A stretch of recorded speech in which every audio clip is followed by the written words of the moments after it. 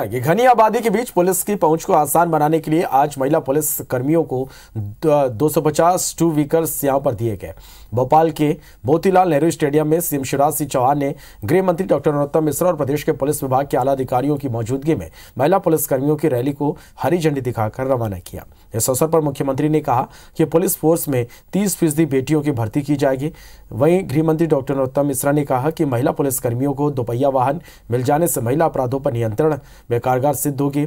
इस दौरान मुख्यमंत्री शिवराज सिंह चौहान ने कम्युनिटी पुलिसिंग के अंतर्गत बालकों और पुरुषों को महिला संबंधी अपराधों और लैंगिक समानता के प्रति जागरूक करने के लिए चलाए जा रहे विशेष जागरूकता अभियान, मैं हूँ अभिमन्यु पर तैयार पोस्टर पुस्तिका का विमोचन भी किया।